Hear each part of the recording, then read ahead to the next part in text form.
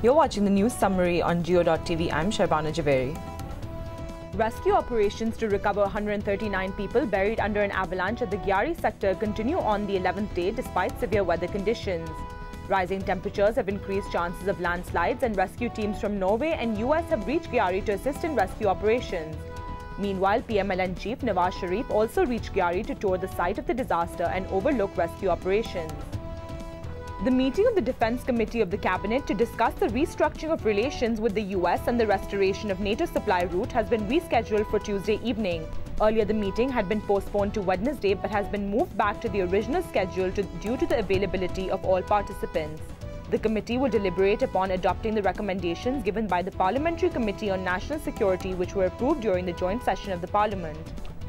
The Supreme Court has directed the Prime Minister's counsel Aitzaz Ahsan to conclude his arguments in the contempt of court case by Wednesday. Responding to the court's directives, Aitzaz said he could not provide assurance that his arguments would be completed by tomorrow.